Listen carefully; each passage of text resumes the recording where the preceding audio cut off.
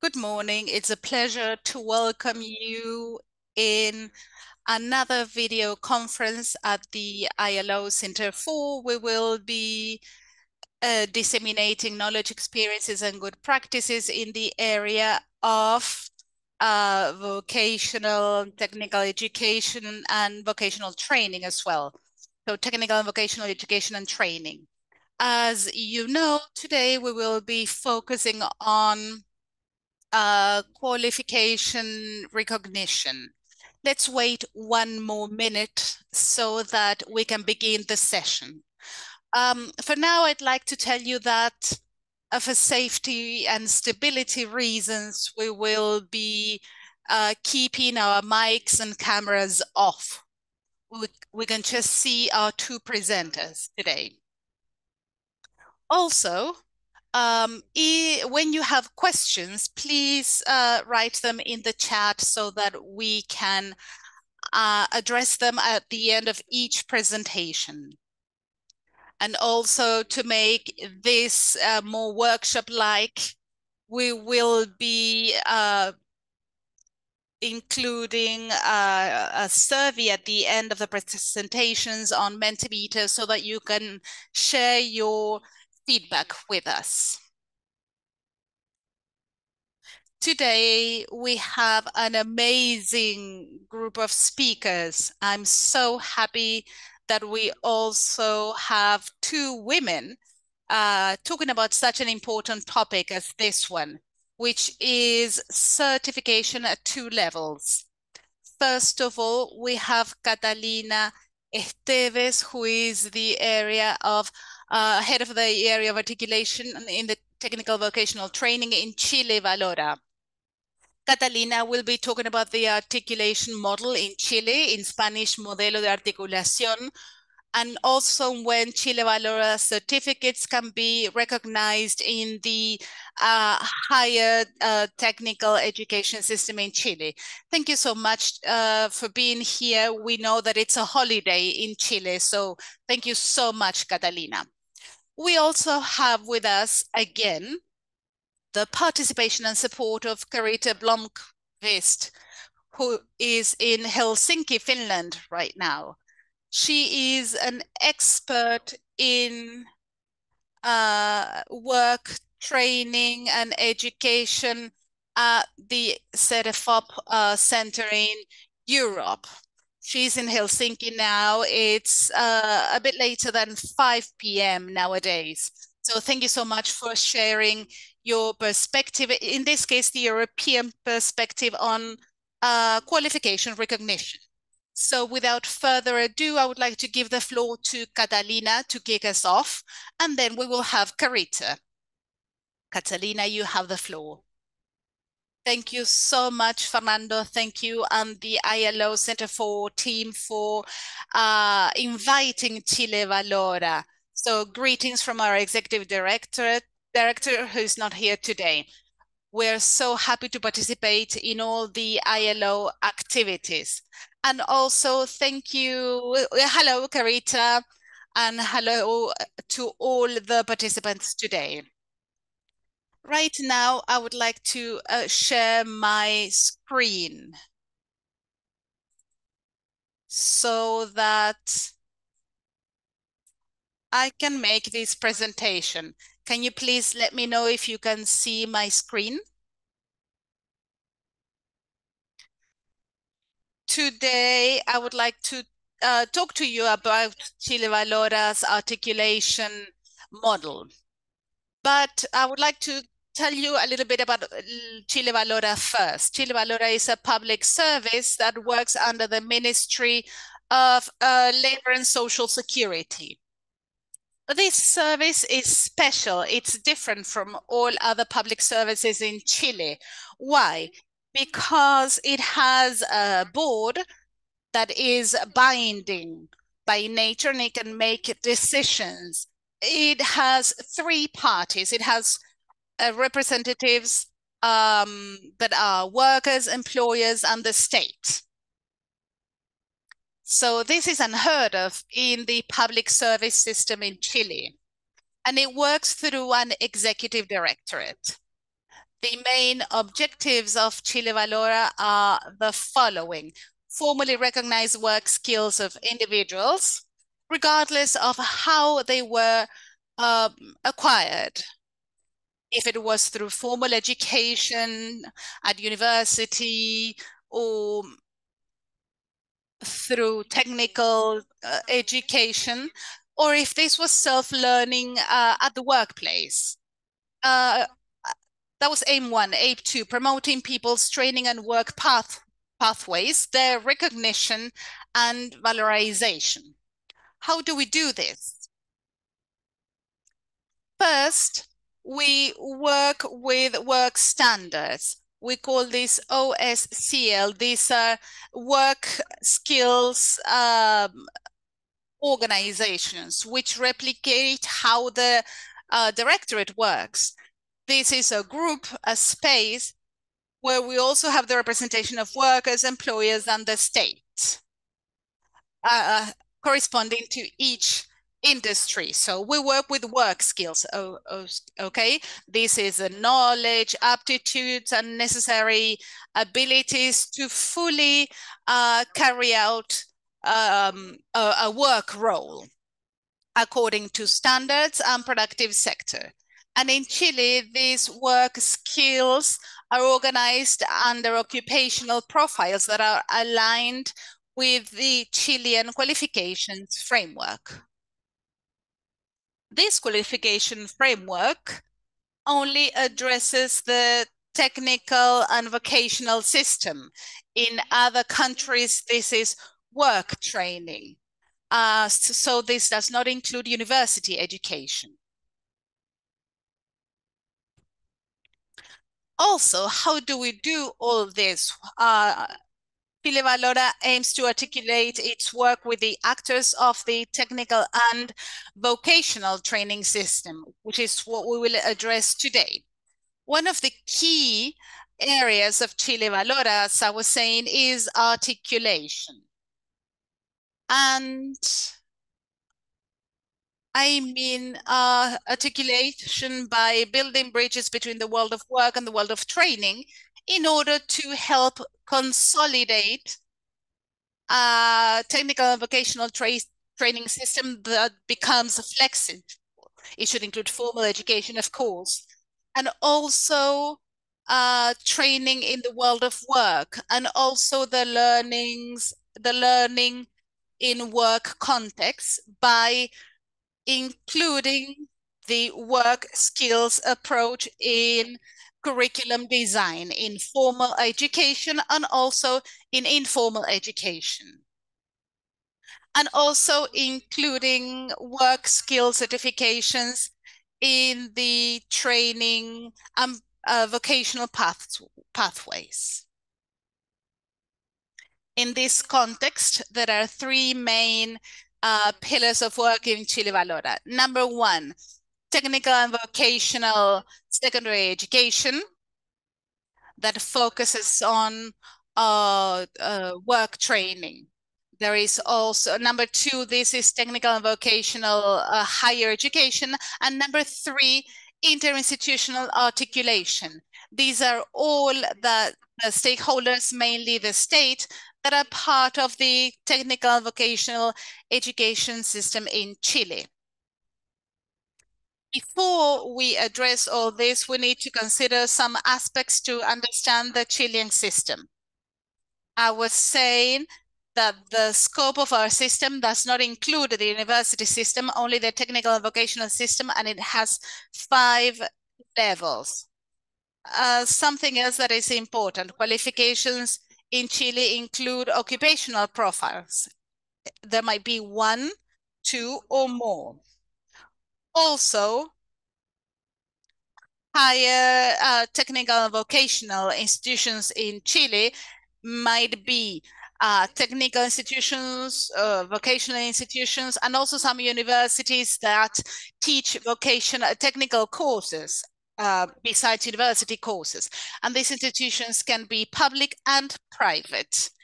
In Chile, in the past, we didn't have uh, technical vocational public education. Um, it was only recently that these uh, technical education centers were created in some regions in the country, so public institutions, I mean. Uh, also, the Ministry of Education in Chile that governs formal education in schools and also higher education. So there's that. There's also the SENCE Service in Chile, which is a national training and employment service in Chile that governs um, uh, work training. And this is non-formal education. And the final aspect to consider to fully understand what I'm telling you about is that uh, higher technical and vocational education centers in Chile are fully autonomous to develop their own uh, courses. However, in order to accredit their quality, they need to have curriculum update mechanisms that consider the requirements of the work market or the la labor market. They should also have mechanisms to recognize prior learning. And this is where we start participating uh, with Chile Valora, with skill certification and with the standards on work skills. This is a simplified chart of how the uh, articulation model uh, at Chile Valora works. I will give you more details later on. Um, still, right now, you can see that we can, of course, we collect occupational profiles, work skills, standards, and we these standards should be addressed in the uh, curriculum design of formal and informal education, and also when it comes to certifying work skills. And these work skills, uh, work skill certifications should actually promote um, um, technical and vocational education in the higher education system through this is done by a mechanism known as RAP in Spanish, and this is prior recognition of prior learning in English. In Spanish, ARP. Therefore, these, uh, this certification of work uh, skills should also be implemented uh, in order to provide intermediate employment opportunities. These are sort of micro uh, credentials issued um, in higher education institutions halfway through courses. And they can also be issued at the end, but in a complementary way. So students get uh, a higher technical vocational degree uh, once they have completed this course.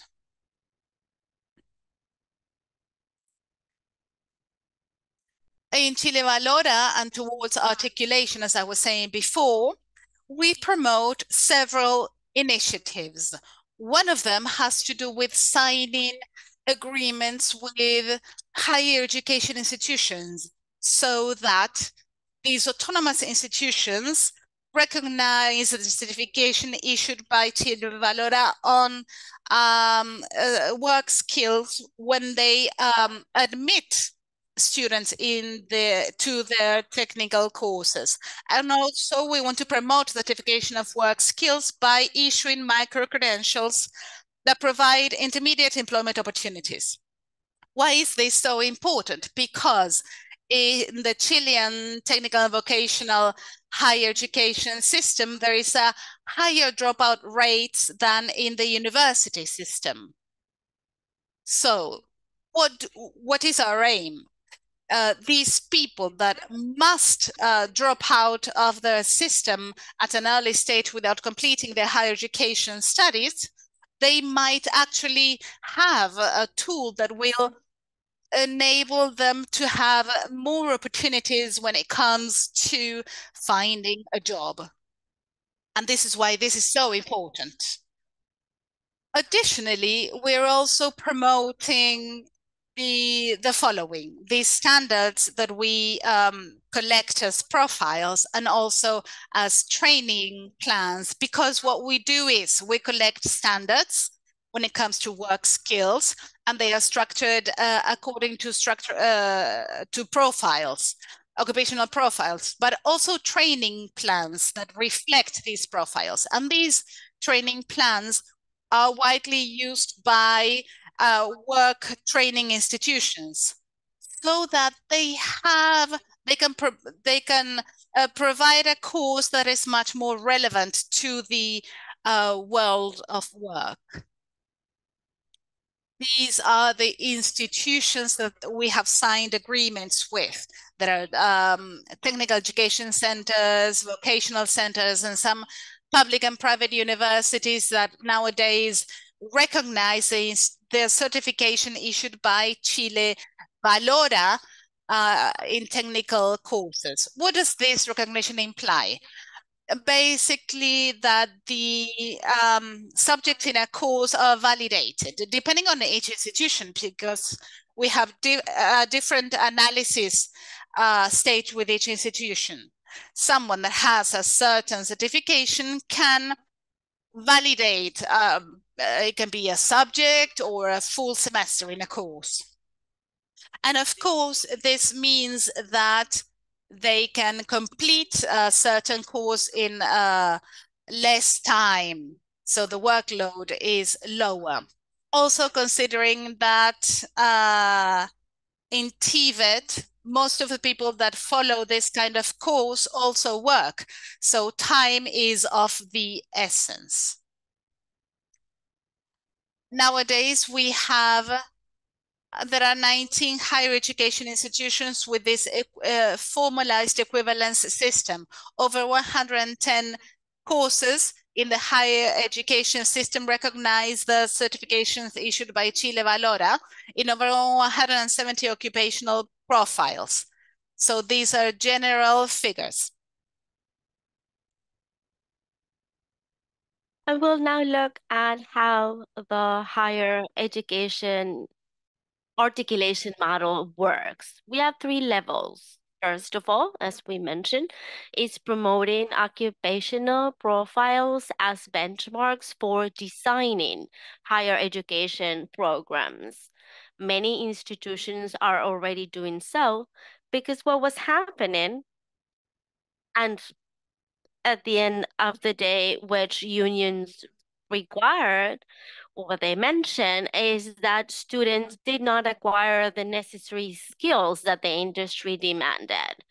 As Chile Valora assesses a threefold aspect with industry participation regarding educational profiles, by doing so, we made sure that the profiles and the training profiles that we work on are validated by the industry workers, state, and employers. So this is very relevant when it comes to designing curricular programs. The second level, as I mentioned as well, is promoting recognition of past training, past education through skills uh, certification granted by Chile Valora, which helps people reduce their academic burden we validate the know-how, the knowing how to do.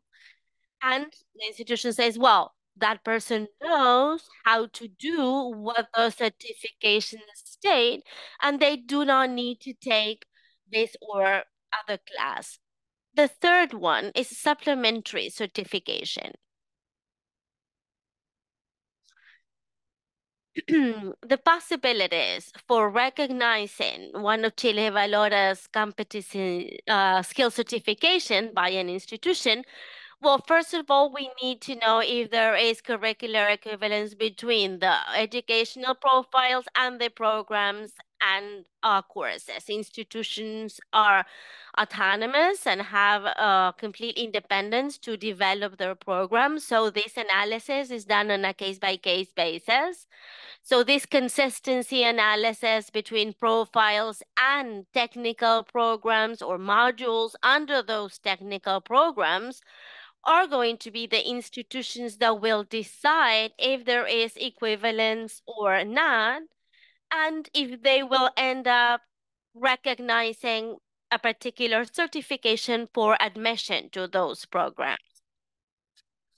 This is just an example. This is the assessment that we carry out for curricular equivalence, and it will be the institution that will decide so. But for this assessment, we will use some of the key elements for a professional profile, like the purpose, occupational settings, level of qualification, of course, and all of the key components for work competencies and skills, uh, key activities, performance criteria. And what we do is we work on this matrix and we assess each point whether there is a connection to the different modules under a particular technical or vocational program. What is the convergence percentage between the module and the profile?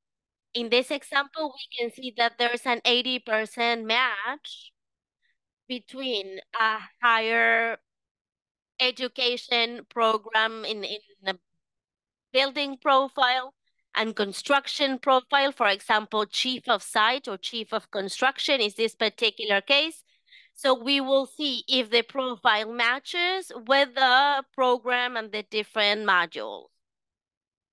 And the institution, each institution will decide whether, for example, if they consider that these are 75 or over percent match, they will consider whether the certificate will be recognized for admission to that program.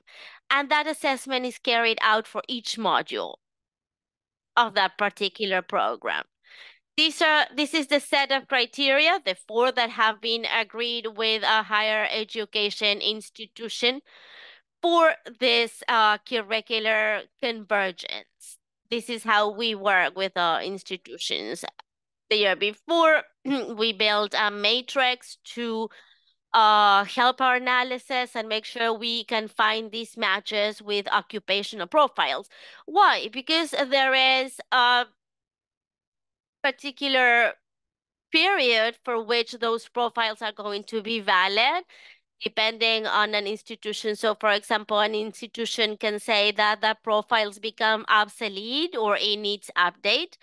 That's why we work with this assessment matrix. X. It is very useful. So in the future, whenever there are any changes to those, those profile, we can track them back. Another important aspect is that we should uh, try to avoid learning gaps as much as possible by using this uh, RAP mechanism. It is, as I said before, the higher education institutions, the one that are going to define the minimum level for this consistency to be uh, accepted through the different courses. And finally, the result of this assessment is formalized by granting or issuing a formal letter stating which certifications are going to be recognized for which programs and which classes.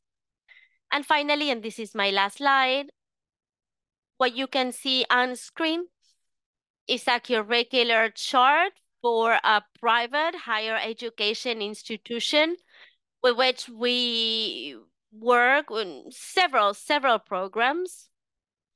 And in this one in particular, we can see that this is the course for industrial maintenance engineering. This information you can find on the institution's website and you can see which are the different courses for the programs. For example, the first and second semester, you can see in the different classes, Chile Valoras um, logo. So those are the, the, the particular classes that you can already see recognize our courses, our certification. So in the first semester, industry security module is recognized, lubrication, mechanic maintenance modules, and so on with the different courses that we that we have in place.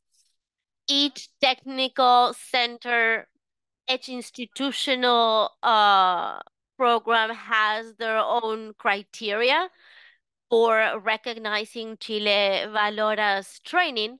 But our big challenge nowadays is to promote our agreement. We have had and even expanded in the past few years, double, I would say, the number of uh, Chile Valoras programs that are recognized. But the big challenge that we still have is for our programs to be promoted and to people and for people to know about our programs.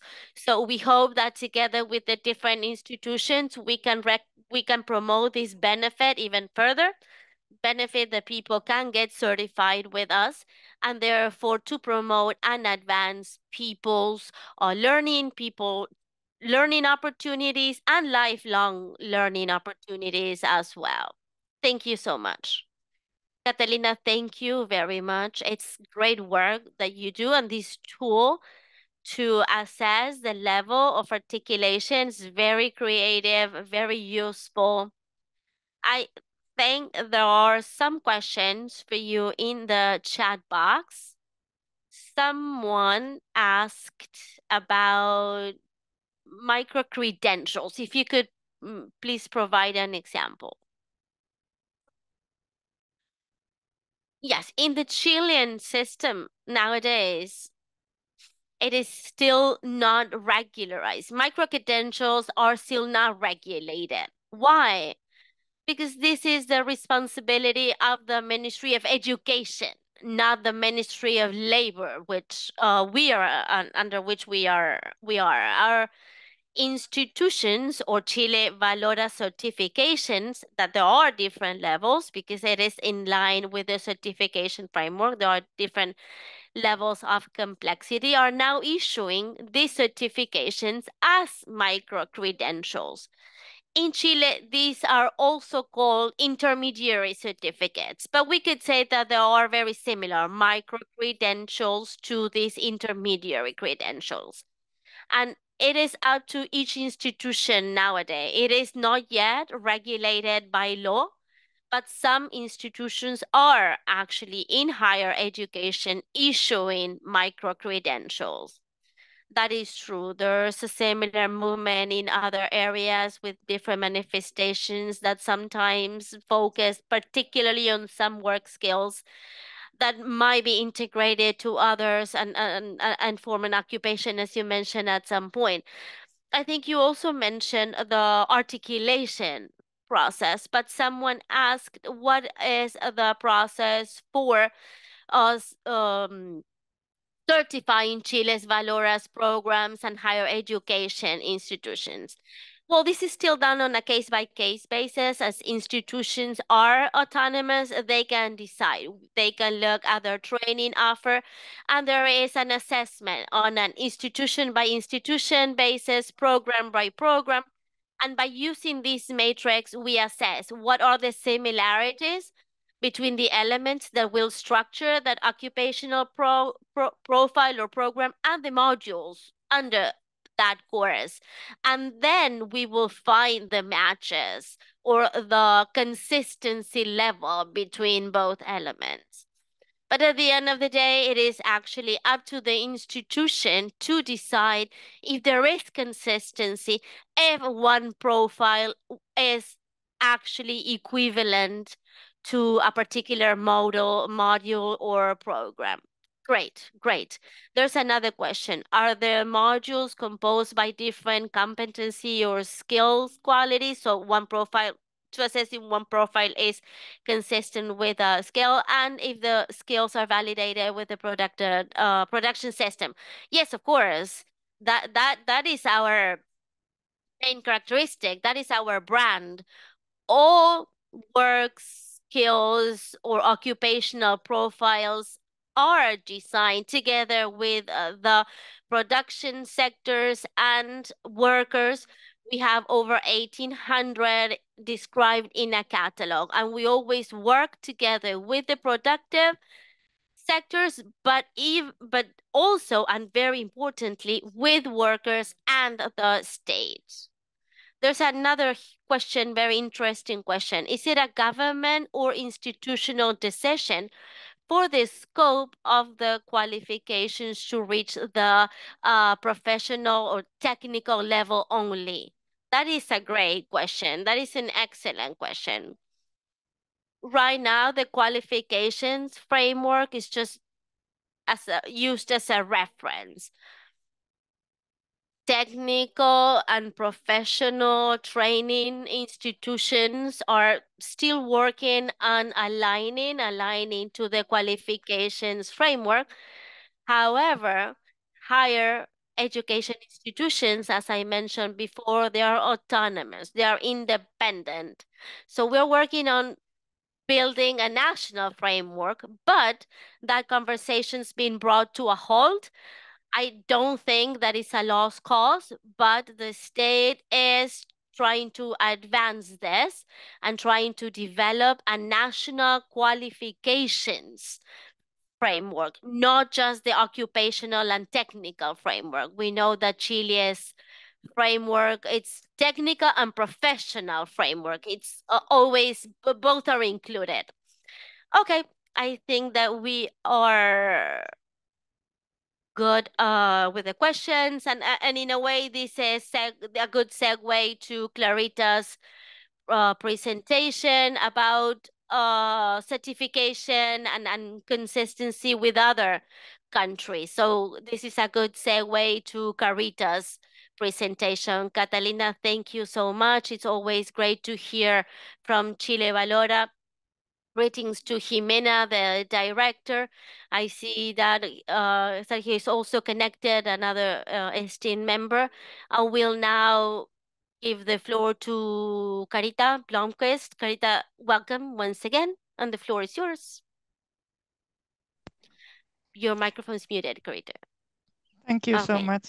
Thank you so much, uh, Mr. Vargas. Thank you, Catalina very kind to invite you, me, and really very interesting presentation. I think similar concepts, similar content, similar questions that we have in Europe. So I will be really happy, happy to present you to, to the European situation right now. Let me first share my slides so you can. Mm -hmm. Yeah.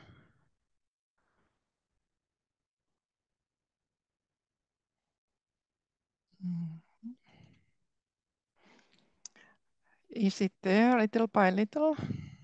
Yes. Oh, great. The most difficult part always. And can you now see the presentation mode? Yes, of course. Is it okay? Yes, great. Yep. Thank you so much. Indeed, thank you for the invitation. I, my name is Carita Blomqvist and I come originally from Finland and uh, um, now I, I work for CEDEFOP in Greece, in Thessaloniki. Um, CEDEFOP is an EU agency under the European Union, and our task is to support and monitor the development of European VET policy developments. We do monitor skills and labor market issues, and we have quite intensive and big studies on the future of VET, vocational education and training, as we mentioned. Um, I work in the Department for VET and Qualifications, and of course we actively support the development and use and implementation of any EU European tools and principles for transparency. So very much linked the presentation uh, with Catalina's presentation. My structure for today is uh, first, what do we mean in, in Europe when we talk about recognition and how can it be supported? Uh, we often say it's very complex. I personally, I have been working for, well, 25 years on recognition issues and comparability issues. I don't know if it's always complex, but some people say it is. I will be discussing with you recognition for professional purposes, for which the European Union has a much stronger competence uh, in relation to its member states. Academic further study purpose, for which, as I heard in Chile, the higher education institutions or vocational institutions also in European Union have the responsibility. I will introduce to some legislation. Uh, we have recommendation on EU level, codes of good practice and uh, networks working together, and of course supporting tools and initiatives trans for transparency. Few words about the validation of prior learning, especially non-formal and informal, very much focus on it in, in the European Union for last 20 years or so. And then we have a specific work we are working on right now on comparing and recognizing qualifications. I would be happy to introduce you to this one and summing up based on, on our experience, a little bit also on personal experience in the field, longer term developments and, and rather recent developments. So I hope this will meet your some of your expectations. And in the end, of course, I'm very happy to try to answer your questions. So, um, what is recognition and how can it be supported?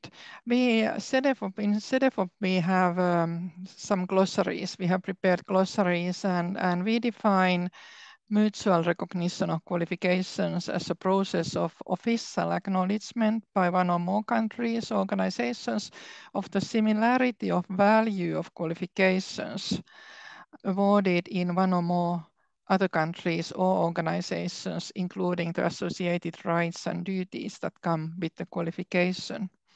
And we are looking also very closely at the close concept comparison. And this is not an official um, uh, definition, but uh, we have we have prepared it ourselves for our project. We understand with comparison at its core, comparison of qualifications is about understanding how programs and qualifications align or differ, and to what extent similarities can be observed and agreed on. This could work to describe what we understand by the concept comparison, which is of course very close to the recognition. You may be aware of the, the legal, legally binding instruments we have in Europe. Um, first and foremost for professional qualifications, meaning uh, qualifications leading to some professions which we call regulated professions. Again, meaning that there are certain requirements on the education and training to enter that profession. Um, EU has a lot of competence on this because of the ideas of free mobility of labor. Uh, so it's so-called internal market issue rather than educational matter. There is automatic recognition for seven professions, and then there are some conditions for general systems, all other regulated professions. I, I don't think we need to go into detail, but I think it's important to acknowledge that for certain certain uh, parts of recognition, the EU has competence. But when we come to other parts like further study, the competence lies with the member states or the institutions in question. I'm sure you have heard about the Lisbon recognition. Many of you have heard about the Lisbon Recognition Convention. It's on the recognition of qualifications concerning higher education in the European region. It's about uh, access to higher education. It's about credit transfer, and it's about going from, for instance, from master level to doctoral degree studies. And the latest one, UNESCO Global Convention on the Recognition of Qualifications Concerning Higher Education. Uh, maybe some of your countries represented here have already joined this global convention, uh, which is uh, which was negotiated by UNESCO, and it's a global, global indeed, and it's possible for any country to join. Then there are these non-legally binding instruments which are as important. They are really based on joint discussion, joint cooperation. There are some EU transparency tool which support recognition of skills and qualifications. I will go I will have a closer look a bit later, including learning outcomes and first and foremost building trust between countries and between institutions to other countries system transparency is really one of the key elements here and the recommendation that EU has formal competence to give, like the one of the latest ones, there is uh, from 2018 EU Council recommendation on promoting automatic mutual recognition of qualifications. Uh, transparency tools are promoting progress towards this kind of recognition. Specific, more specifically for vocational education and training, we have quite re, quite new from 2020 uh, council recommendation which recommends to make best use of transparency tools to facilitate automatic mutual recognition of qualifications. Automatic here does not literally mean automatic in, in all senses. It rather means that you should look at the qualifications so that it gives for instance, if we talk about uh, entering, for instance, higher education, based on your qualification in sec on secondary level, uh, automatic here means that you have the right to apply, you have a so-called access, you have the right to apply, but the final decision concerning admission, for instance, entrance examinations, language requirements, etc., are up to the institution, and this is how it will be also in the, in the future. Some more words about this EU directive on the recognition of professional qualifications. Um, I said it's part of the internal market legislation. We, uh, it's an important concept in the EU context. Uh, there are rules according to which each member states, EU member state must recognize professional qualification which has been acquired in another member state by an EU or EEA European Economic Area, meaning Norway, Iceland, citizen in another member state. Central concept here is regulated profession. Again, I, I said that regulated profession in this EU context means a profession for which uh, any member state, one member state sets certain requirements for entering. One example, teachers. Teaching is a regulated profession in many EU member states. You need to have certain qualifications to be considered as a competent, fully competent, fully qualified teacher. And under this directive, there are three different systems. Uh, general system applies to most professions. Uh, the idea here behind the general system is, for instance, if there is a teacher which, who is fully qualified to teach mathematics in Sweden, uh, he or she has to be given the same right in Finland uh, unless we uh, realize or Finland realizes that there are some uh, what is called substantial differences between qualifications. But the, the, uh, the options for member states are really limited here in the sense that you have to have a positive eye. If the person is fully qualified in one member state, the starting point is you consider him or her fully qualified in the receiving country.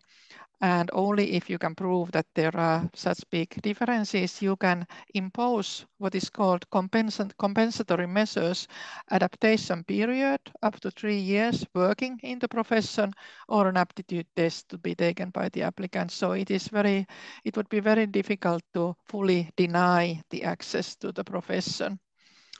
Uh, for automatic recognition for seven professions, nurses, midwives, medical doctors, dentists, pharmacists, architects, and veterinary surgeons, there, is, there are harmonized training requirements in the European Union.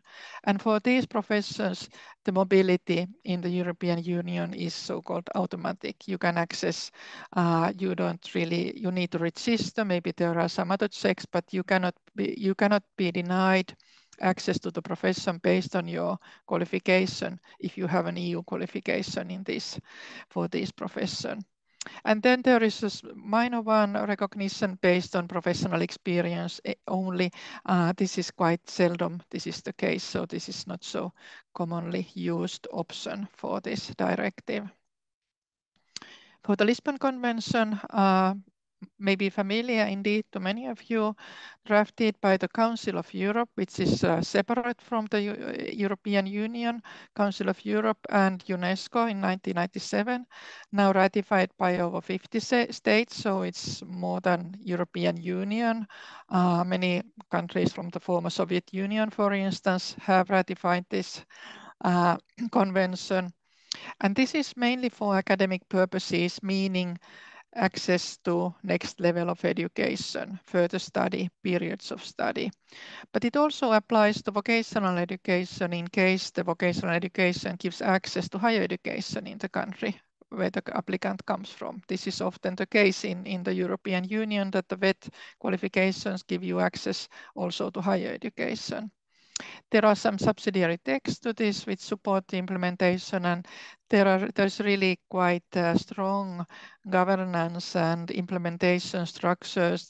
Uh, there is intergovernmental committee and there are this what we call national information ENIC centers. You may have heard of those and may have similar in your countries also for the region. And again, the very important concept here, the substantially different. Recognition can only be refused if the qualification is substantially different from that of the host country. It is uh, not formally defined. It's difficult. It's in a way case by case uh, situation, but there are some quite general rules that are applied by many countries in, in, the Europe, in Europe. So um, I said often this is considered as a complex uh, landscape, complex uh, uh, set of uh, things, uh, but much, much, work has been done indeed. Uh, CEDEFOP, um, the organization where I work, uh, works on several related topics, for instance, European Qualifications Framework, EQF, National Qualifications Frameworks. we work a lot on learning outcomes to to move the education, to motivate the countries to move the education system to be more learning outcomes based. Uh, so that the qualifications are not defined only in terms of length or uh, certain elements of context, but contents, but rather what they, what the people who who qualify should be able to do after the end of the uh, study period. Validation of non-formal and informal learning is a big mentioned already. I will say a few words more about that one. This is also supporting recognition of qualifications. Micro-credentials, I understood also a topic in your, your region as well, also in, in Europe, a lot of discussion. What is it actually? Is it, a, is it um, a new name for something that already has existed for a while and how could we define it in Europe? These discussions are go going on in Europe as well.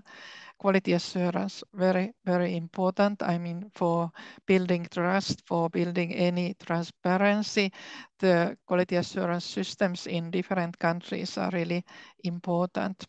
And CEDEFOP also has a big project on transparency and transferability of learning outcomes going on right now. These are really the kind of keywords in our discussion, transparency, transferability, learning outcomes, quality assurance. I think these, these are the terms, concepts that go very closely with the recognition of qualifications.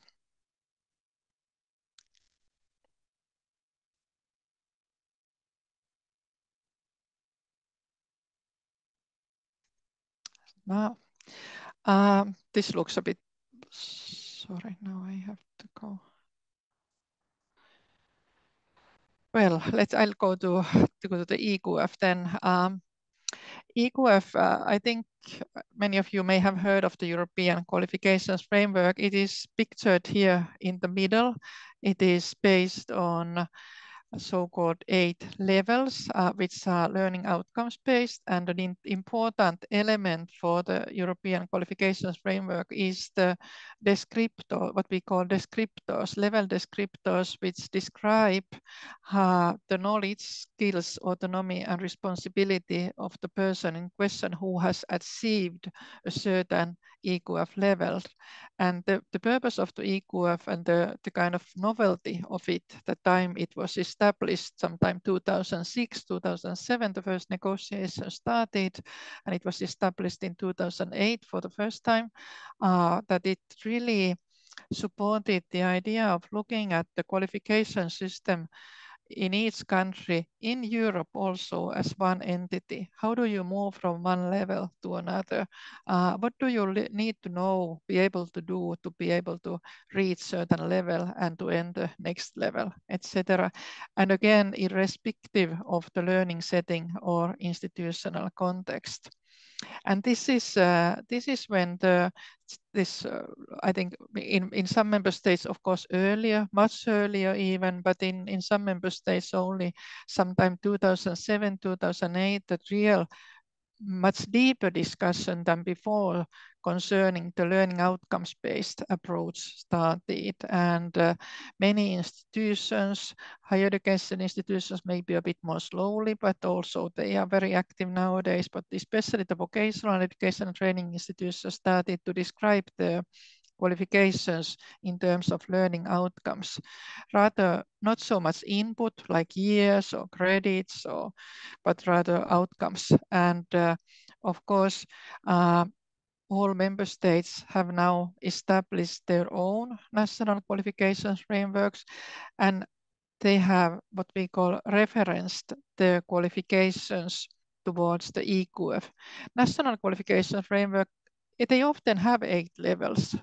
It's not because of there would because of that there would be really so direct comparability with the EQF, but it is also because the negotiations um, on EU level for the EQF to be established uh, took into account many countries' qualification systems, and that this eight levels seems to correspond really to many many member states' own qualification levels and qualification systems. So no matter how many levels there are in the national qualifications framework, there is a procedure called referencing procedure in which member state links its qualifications to the EQF. And this is how we can create more comparability uh, when we indicate member states in Europe, uh, European Union, they indicate the qualifications level of the graduates in the certificates and, and they give both the national qualifications framework level and the European qualifications framework level. It can be the same, but it can sometimes, some countries have six levels, so they the level then in that case would be different. But when the level is indicated in the document, it's considered that it's easier to compare the level of a qualification between countries via this uh, kind of translation device translation system, if you, if you may, uh, European qualifications framework. Uh, indeed, many countries have referenced their uh, national qualifications frameworks to the EQF. Uh, as you can see, the dark blue uh, uh, for 36 countries already there are uh, 49, 41 EQF countries nowadays. They are not all EU member states, but they, have, they are in the process. They might be what we call applicant countries for the European Union, and they are in the process. So not all of them have yet a reference. Uh, um, in Spain, might be interesting for your context. The NQF referencing is, is really about to be finalized quite soon, I understand from uh, my Spanish colleagues. Then a few words about this validation of prior and especially now non-formal and informal learning. Uh, of course, it's first and foremost, we consider it's a question of values. And I think uh, Catalina also talked a little bit of this, all learning, irrespective of where or when it takes place, is valuable for the individual and for society. And the formal learning in many cases must be supplemented by validation of non-formal and informal learning through the lifelong learning uh, period, life-wide learning, etc. There are different terms. Um, there is a process what we have which we have created in in Europe a process of confirmation by an authorized body that an individual has acquired certain learning outcomes which are measured against the relevant standard and this is of course always very very challenging and difficult there is the whole issue of standards but uh, different countries different institutions can can use different standards. EQF is often one uh, quite widely used standard for comparing, but of course it's very, in a way, robust uh, standard, but uh, to some extent also useful. The process has four main phases. The identification of learning, learning outcomes. You have to document those. Uh, when they have been documented, somebody has to assess whether the learning outcomes have been reached towards the um, standard and in the end certification. Uh, the process is not always so clear. Uh, there can be different phases. There can be, you have to jump aside a little bit sometimes and it's not always so straightforward, but, but this is really the kind of European recommendation for the process. And I think it's, it's followed by many countries. As you see, there are many elements, familiar elements which are linked, skills assessment, prior learning assessment, credit exemptions, and of course, um, in the end, we talk about recognition, validation, and accreditation of non-formal and informal learning. There are many terms for the almost similar uh, phenomenons. We have been preparing, CEDEFOP has coordinated the work together with member states and experts in the field you might be interested in. If you have not seen, this is all online. Uh, guidelines for validating non-formal and informal learning.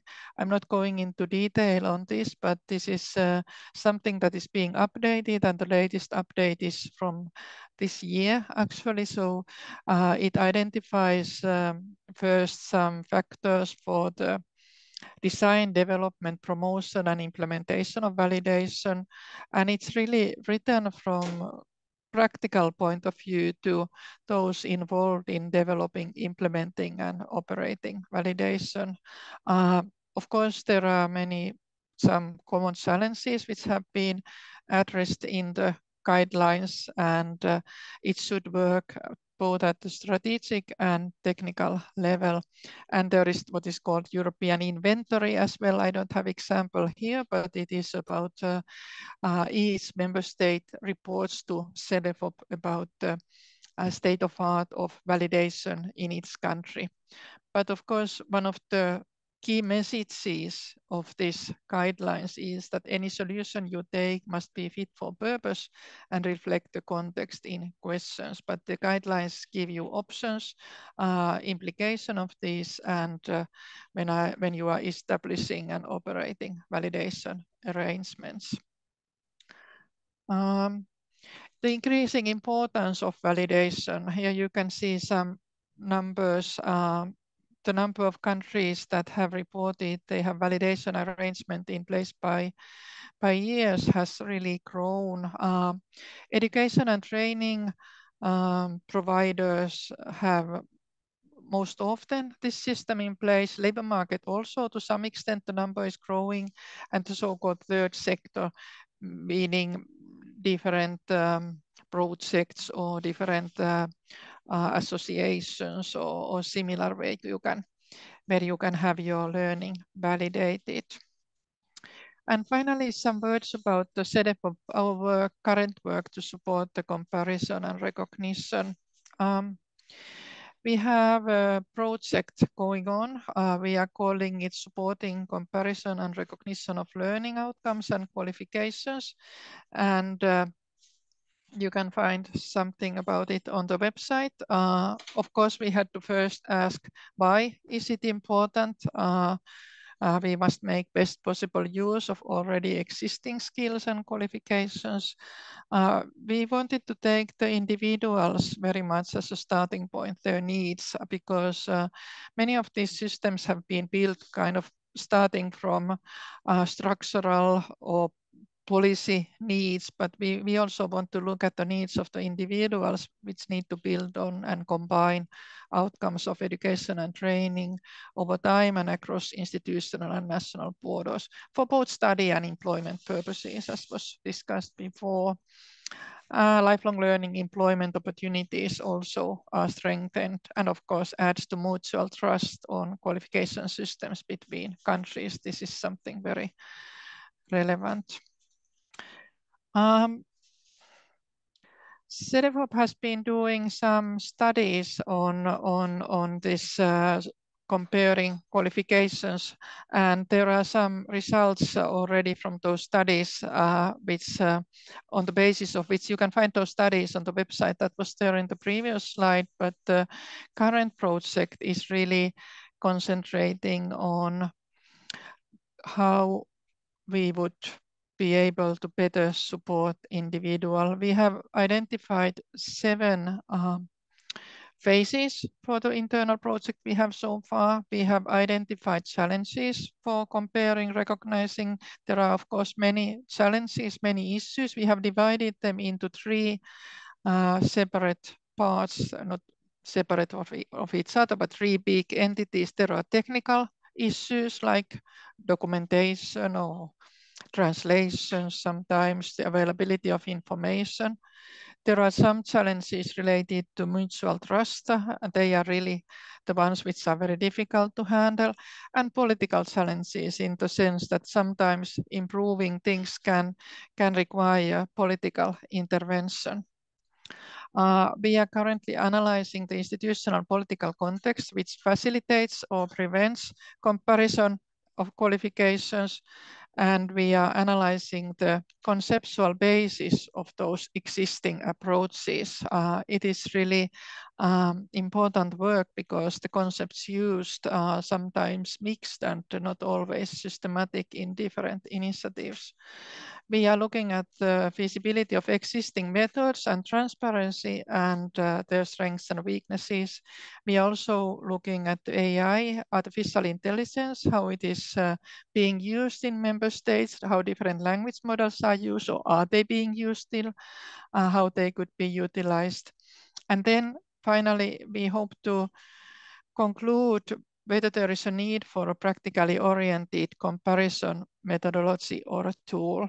And then in the end, of course, how this tool could be institutionally embedded at national and European level.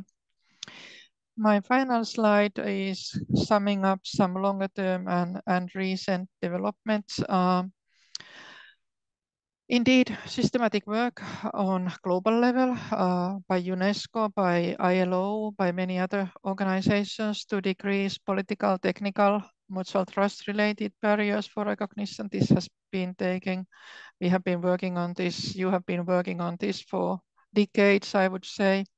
At the same time, a kind of a counter uh, factor is the increasing diversity of qualifications, which is positive as such, of course, but it might complicate the matter and the experience becoming more and more important also including non-formal and informal. Many countries are restructuring their own education and training qualification systems. This is constant work, of course, in, in governments, not uh, something that is there forever. Any education system is not such. Uh, growing importance of flexibilization, permeability, transparency, quality assurance. This is where this has become very, very clear during the last decades. Um, understanding of each other's qualifications. I think this is very important point. I think that uh, acceptance of the idea that you should rather look similarities than differences and try to accept the existing differences from what is sometimes in Europe was at least earlier called nostrification process, which means very detailed comparison to go to more acceptance of existing differences. Of course, finally, when you compare qualifications, when you recognize qualifications, you have to balance between the importance of input basis, again, years, learning outcomes basis, but also the kind of contextual factors, quality assurance, the status of institution, and there are many factors that influence the actual decisions when it comes to the comparison of qualifications or recognition of qualifications. And of course, there is growing importance of links between different policy areas quality assurance, qualifications frameworks, and labor market policies are the most kind of closest ones, and they do cooperate a lot in on European level, on national level, and I heard it also also from from your context that was presented by Catalina, and of course. Um, little by little and more and more, the many benefits of functioning recognition services for individuals, for people are becoming more visible. And, and I really hope that the, this is the direction of to where, to where the things are proceeding also in the future.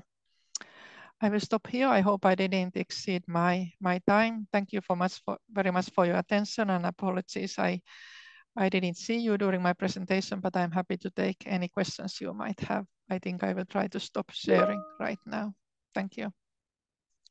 Gracias, Carita. Muy amable. La verdad ha sido una presentación de una gran Thank you. Carita. Thank you so much. You have had Eh, you you've delivered a great presentation, very generous presentation. You provided a lot of information we learned from CEDEFOP, the learning outcomes approach, the European qualifications framework, and finally, what you mentioned at the end was also important to us, what we call qualification validation and uh, three big issues, as you call them, technical aspects, mutual trust, and the political aspects, the political context. I think that this is very, these are very important factors for our uh, recognition across countries as we are already seen among some of them. Another interesting takeaway is accepting differences between the different countries, accept, accepting the differences between the different systems, comparing detailed comparison between profiles, and at the same time accepting the differences in terms of quality assurance frameworks. I think that is a very valuable takeaway. In Latin America, we made a big uh, efforts in terms of profile comparison that sometimes are a barrier to to moving forward as we are comparing such detailed uh, profiles and sometimes makes it more difficult to come to agreements and, and, and to build shared frameworks. We do have some questions for you. You, you mentioned eight levels for the qualifications framework. Is it possible that people will find an upward route without sort of getting lost across so many levels? How do we manage, or how do you manage for people to be able to identify that particular route or trajectory? This is very important question really for people to understand uh, um, for the um, uh, actual quali European qualifications framework and national qualifications frameworks, we have recommended member states, uh, and I think most member states already issue qualifications uh, um, certificates in which the level is indicated, it is told. But I think the question also refers to the preliminary information that people need before they start their studies and before they enter the education and training. Uh, there are many developments for digital databases in European Union now. The point is, the point, of course, important it is, is, is to have digital information available about qualifications on national level. What do I learn? Which level of qualification? This, this information should be there. But for true comparability, I think for uh, young people maybe willing to study abroad in different countries to make their choices, it's really, it would be important to have this uh, information not only digitally available, but also structured in a similar way in that way, in that way that this information would be comparable. This is not yet the case. It's quite a jungle, of course, also in, in Europe, uh, especially in Europe maybe, but we, we try to work hard to improve the situation, to motivate member states to give this information. But I think normally we also work very closely with guidance services, um, guidance for people who want to study something and, and, and to be able to tell them what they really get in the end. I hope I, I, I at least tried to answer the, the question. Please tell me if, if, if, if you want me to be more precise. There is no clear answer to this important, but it's an important observation. I mean, the the ability to go through all these possibilities that there are. Because the idea is not that you necessarily move from level four to five. You can also move from level four to six. I mean, the the the qualif you don't have to go kind of one, two, three, four, five, but you can also move and leave one level maybe aside. So, and this is for the educational institutions also an important observation.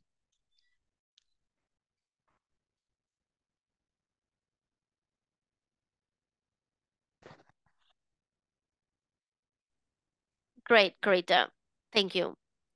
Could we say that the framework, the qualifications framework, is in a way a standard or a benchmark for mobility across countries or validation across countries?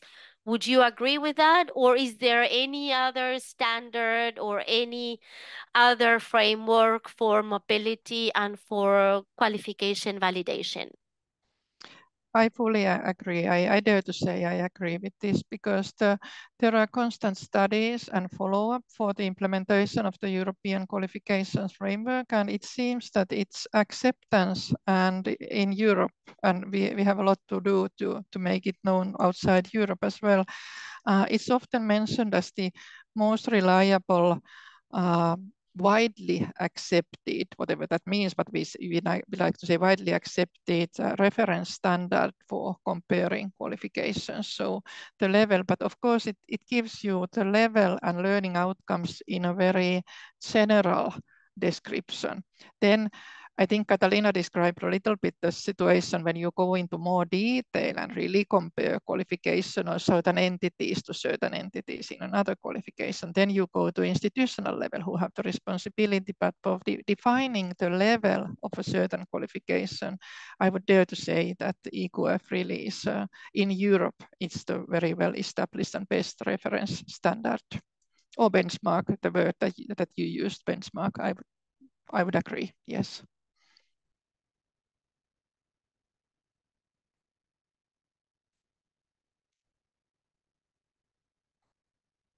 And uh, our last question before we have the Mentimeter poll.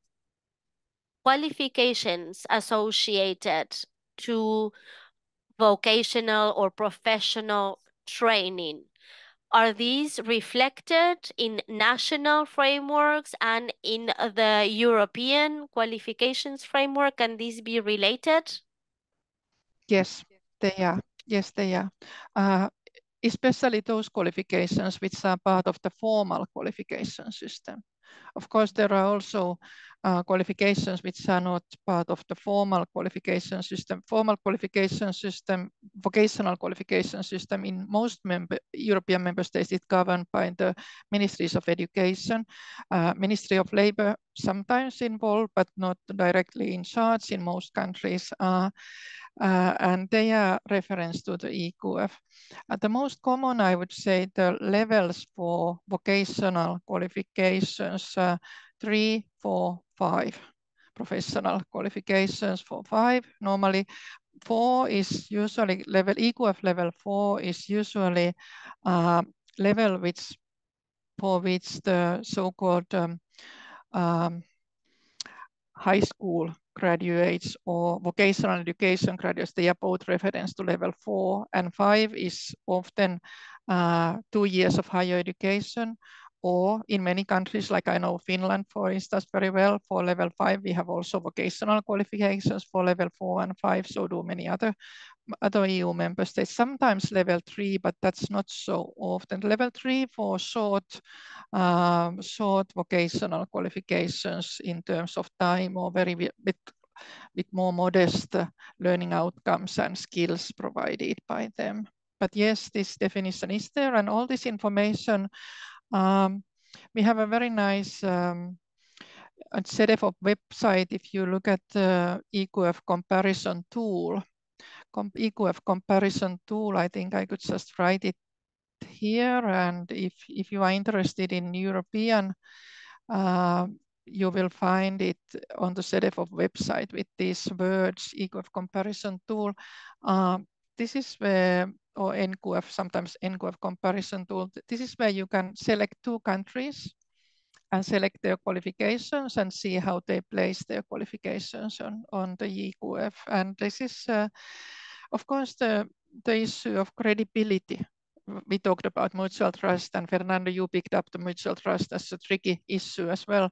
Uh, the referencing process is there to try to safeguard because all member states comment each other's uh, how they place their qualifications. So the you have to present certain evidence of the learning outcomes. So this is, it's voluntary work, but I think many countries do it for their own purpose, for their own well, for their own citizens, to make their systems and qualifications better known to others in, in member states and, and make it easier to, for people to move around for, for labor, for, for work or for study purposes.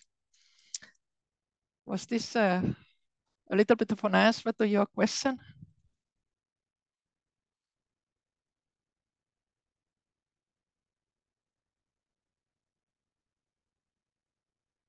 Yes, yes, thank you very much. I think it's clear we do have several shared tools that are being very beneficial.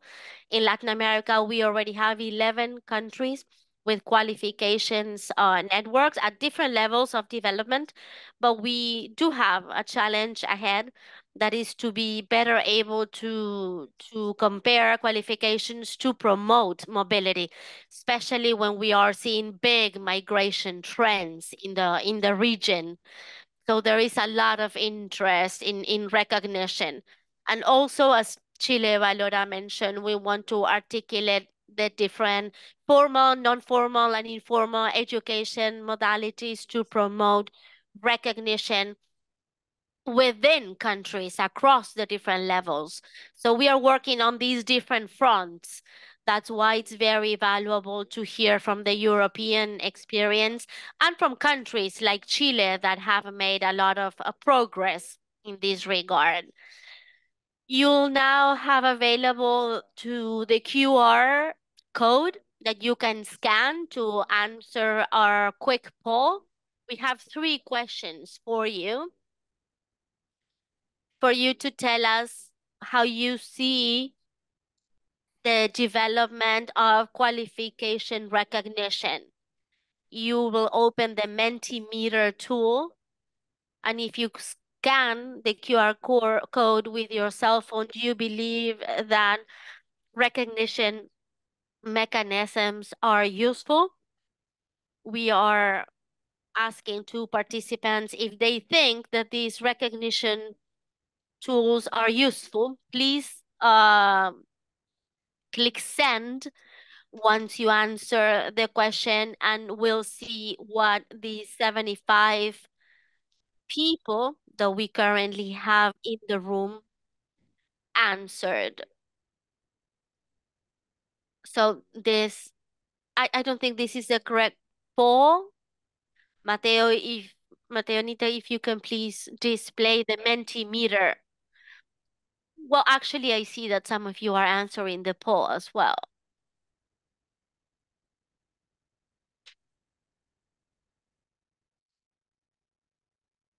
So 22 people feel that recognition mechanisms are useful, only one person is saying they're not. 24 answers. On your mobile, you can scan the QR code in the chat and you can access the survey. Question two. In your country, there is a mechanism to is there a mechanism to recognize uh, training uh, in your uh, country? And 17 say yes, that there is a mechanism to recognize uh, certificates, and 7 say no. So we can see that these recognition mechanisms are now more uh, common. We will be including the results of this survey on, on our website as well so that you can access the results later on. Question number three. Please uh, list in order of importance these barriers uh, when it comes to developing recognition mechanisms. So lack of uh, assessment criteria, lack of a regional framework of qualifications, lack of clear policies.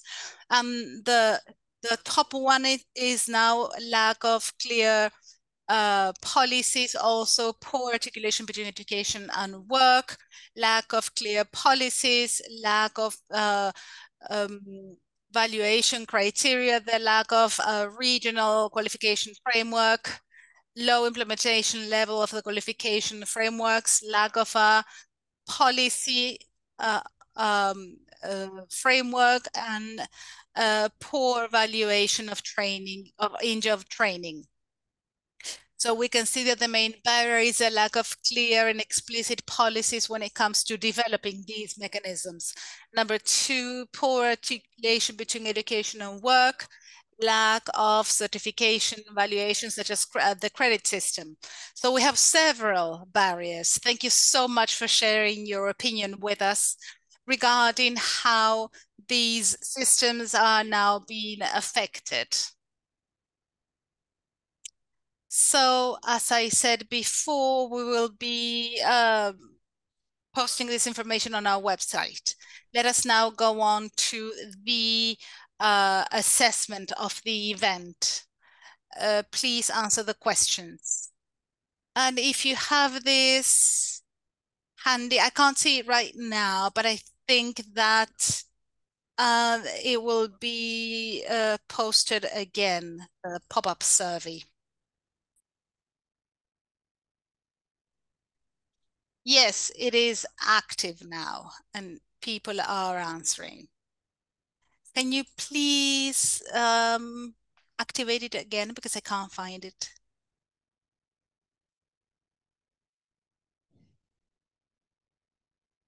So people are thanking us. Thank you, Carita, as well for the uh, for sharing uh, Cedefop's tool comparison tool with us. Also, thank you to ChileValora, uh, our uh, Peruvian colleagues as well. 82% of the people had already participated in these surveys and 18 percent, sorry, not in service, and our video conferences. Uh, eh, for the 18% of the people, it was the first time, and 71 said uh, they have they are very satisfied, and 29% with the following um, level.